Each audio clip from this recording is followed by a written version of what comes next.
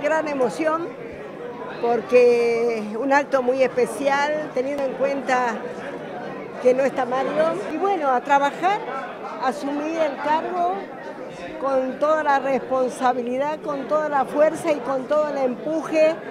que siempre nos pidió Mario a defender los intereses de la provincia, a trabajar con el equipo de gobierno para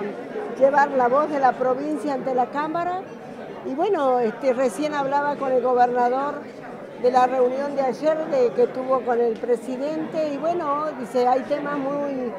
agudos que hay que analizarlos profundamente y entre todos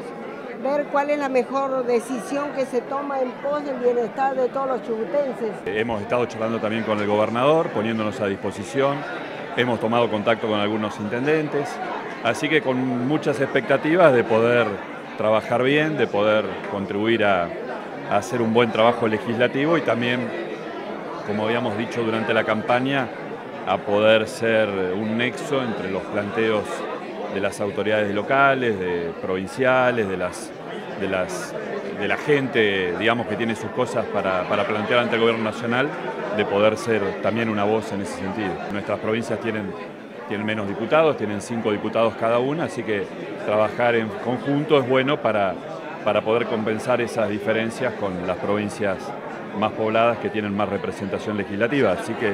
es, esa es una aspiración que tenemos todos. Hay 21 años de incumplimiento de un mandato constitucional de sancionar un régimen de coparticipación federal justo y acorde a las pautas que establece la Constitución. Y lo, bueno es que este gobierno lo ha encarado, ha encarado el tema y lo ha encarado de la mejor manera, que es mediante el diálogo y la búsqueda del consenso, en este caso específico con los gobiernos provinciales, con los gobernadores. Así que de movida eso es muy auspicioso.